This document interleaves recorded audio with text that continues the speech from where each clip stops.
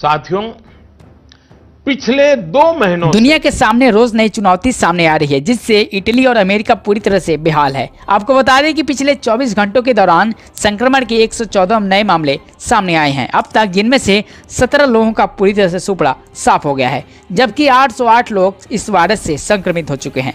आपको बता दें कि लॉकडाउन के बाद शहरों से बड़ी संख्या में मजदूरों का पलायन तेज़ी से हो रहा है। क्योंकि जो लोग कमाकर खाने वाले हैं, उन्हें इस लॉकडाउन ने काफ़ी परेशान कर दिया है। इसीलिए अब ये लोग दिल्ली या फिर बड़े बड़े शहरों से लोग पलायन कर रहे हैं।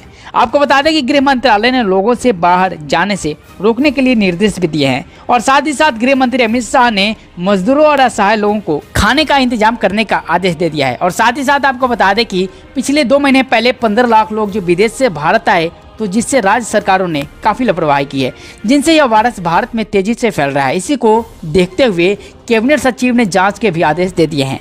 आपको बता दें कि आज देश में 24 घंटों में इस महामारी के संक्रमण के 114 नए मामले सामने आए हैं। तो वहीं भारत में 808 लोग अभी तक संक्रमित हो चुके हैं, जिनमें से अब तक सत्रह लोगों की जाने जा चुकी है।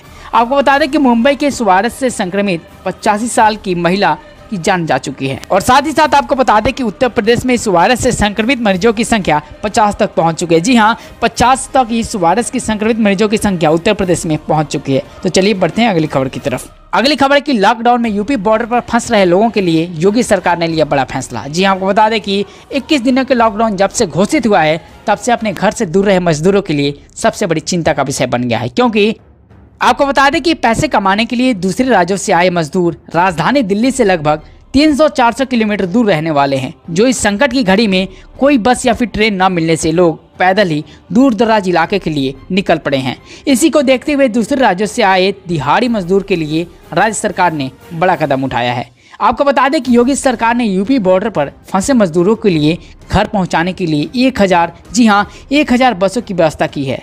जिससे लोग अपने घरों तक आसानी से पहुँच जाए और साथ ही साथ यूपी के पचहत्तर जिलों में मदद के लिए डीएम और एसपी को भी निर्देश दे दिए गया है। तो चलिए बढ़ते हैं अगली खबर की तरफ़। अगली खबर है कि इस वायरस से निपटने के लिए स्वास्थ्य मंत्रालय ने दिया दवाओं की होम डिलीवरी का आदेश। जी हाँ आपको बता दें कि इस वायरस के प्रकोप को देखते हुए केंद्रीय स्वास्थ्य मंत्रालय ने साठ वर्ष से ऊपर, यानी कि जिनकी आयु साठ वर्ष से ऊपर है, उनके लिए केंद्रीय स्वास्थ्य मंत्रालय ने बड़ा आदेश दिया है। आपको बता दें कि सीजीएचएस के जो लाभार्थी हैं, उनके लिए दवाओं की होम डिलीवरी देने का आदेश दे दिया गया है। और वहीं इसके साथ ही साथ शुगर जैसी बीमारी, अन्य उपचार से गुजरने वाले लोग कल्याण केंद्र का दौरा करेंगे। वहीं साथ ही साथ आपको बता दें कि अपने आदेश में मंत्रालय ने कहा कि अधिक से अधिक तीन माह के लिए एक बार ही दवाई दे दिया जाएगा। तो चलिए बढ़ते अगली खबर की तरफ़। अगली खबर की लॉकडाउन में मोदी ने जरूरतमंदों के लिए मोदी किट बांटेगी बीजेपी, जिसमें आटा दाल समेत कई चीज़ें मिलेंगी। जी आपको बता दें कि नरेंद्र मोदी ने इस संकट के समय जरूरतमंदों की सहायता के लिए हर संभव कोशिश कर रही है। तो वहीं आपको बता दें कि भारतीय जनता पार्टी की ओर से मोदी किट के नाम से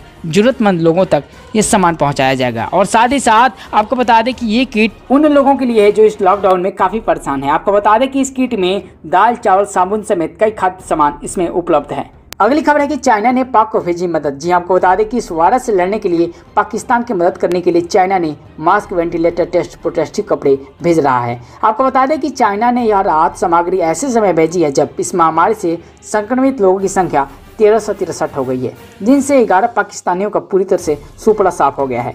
आपको बता दें कि इस वायरस ने पाकिस्तान में ऐसा कोहरा मचाया है, जिनसे भिखारी पाकिस्तान पूरी तरह से तिल मिला गया है। अब इन टोपी छापों का पूरी तरह से सुपड़ा साफ़ ना हो जाए, इसीलिए छोटी आँख वाला चीन पाकिस्तान को हर मदद पहुँचाने की कोशिश में जुट गया है।